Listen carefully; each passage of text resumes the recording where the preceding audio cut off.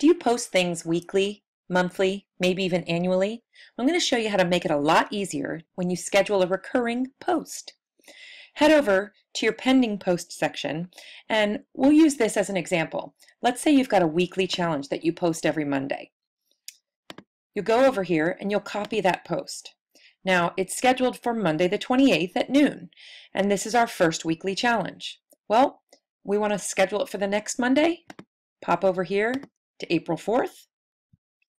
We're going to change maybe one word here. And it's already set up. You've got your post category on your team page, your Facebook group, you schedule the post, and guess what?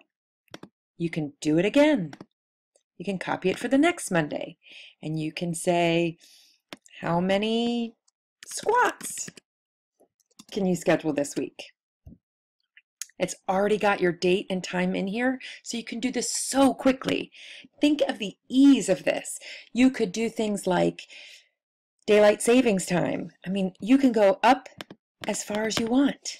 Recurring posts is going to save you a lot of time.